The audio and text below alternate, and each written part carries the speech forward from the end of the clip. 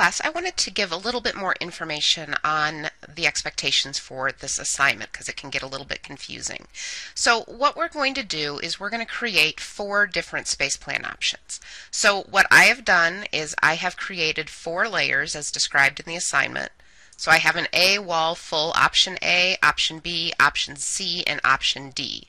So right now I'm looking at my um, option A floor plan. So I've put in some fixtures in the different gallery spaces. I've put in some furniture in the office. Um, and this is all on the option A layer. So I also have, let me switch to option B. So option B is a different scheme. Um, but it's all on this same plan. So I've got my base plan XREFed in, and you guys will, of course, have your restroom layouts as well. I don't have that on this particular drawing. And then I also have an option C.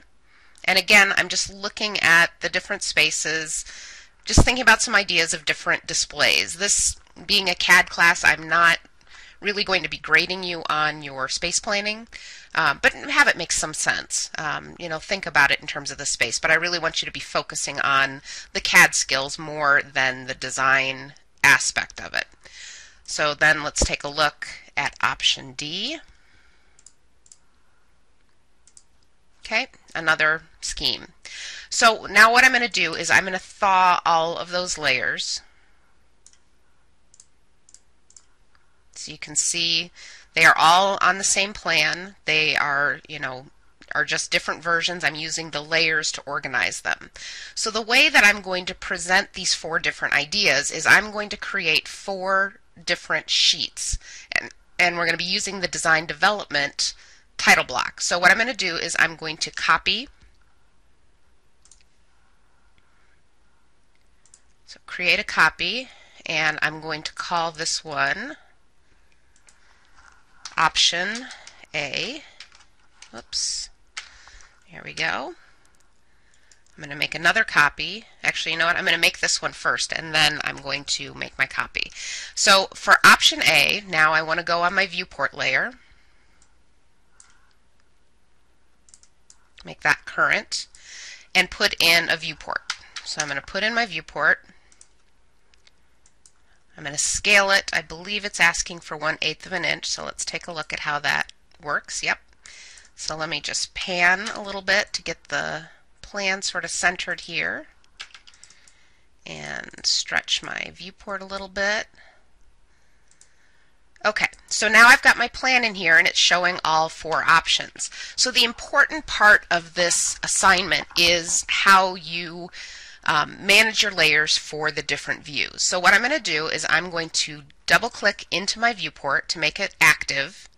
I'm going to open my layer manager and I'm going to find my um, my space planning option layers and I want this to be option A so what I want to do is I want to freeze option B, C, and D but only in this viewport so I'm going to be looking for this VP freeze column so I'm going to look for B, C, and D and freeze those in that viewport. I'm going to close that and now you can see that I'm only seeing the information for option A. But if I go back out into model space, everything is still there. So now what I'm going to do is I'm going to create a copy of option A and create option B.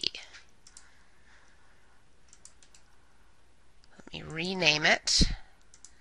Oops, try that again. Option B and you can, you know, get these, drag these into whatever order that you want so that if it, we want it to go option A, option B. Okay, so option B is a copy of option A. So right now we're still looking at option A.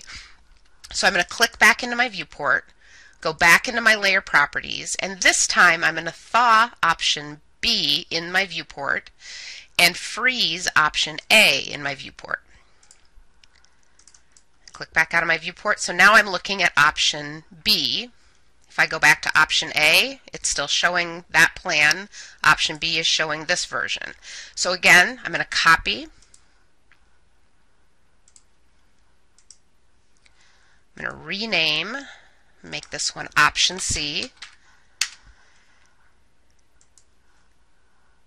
Click into my viewport And this time I'm going to thaw option C and freeze option B.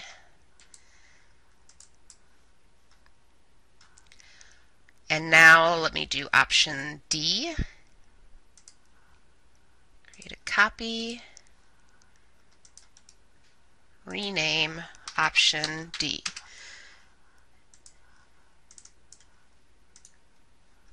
And again, I'm going to do this VP freeze, thaw my D, and freeze my C.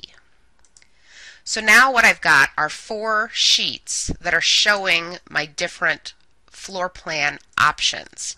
I'm using layers to organize the information and using the, the layer, the freezing in the viewport to control the different views. And we're going to keep doing this um, as we continue with the project. So it's an important skill to understand because it allows you to set up these sheets and not have to freeze and thaw layers to plot, um, which invariably leads to forgetting one, and then you have got then you've got the wrong information. So this way you can set it up and then not have to mess with it. You can just go in and adjust it.